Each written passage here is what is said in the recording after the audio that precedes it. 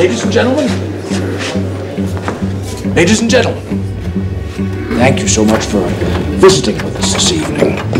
I've traveled across half our state to be here and to see about this land. I dare say some of you might have heard some of the more extravagant rumors about what my plans are.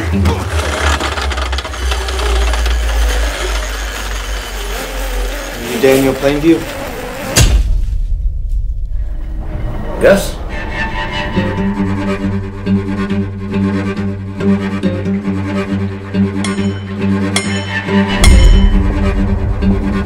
Look for oil. That's right. What do you pay for a place that has it? I'm a family man. I run a family business. This is my son and my partner, H.W. Can everything around here be gone?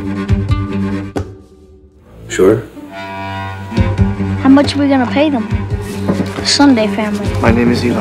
Yes, you're uh, Eli Sunday. I assure you, ladies and gentlemen, no matter what the others promise to do, Welcome. when it comes to the showdown, they won't be there. Give them quail prizes. Do you think God is going to save you for being stupid? Daniel? What? Lost the man down the well.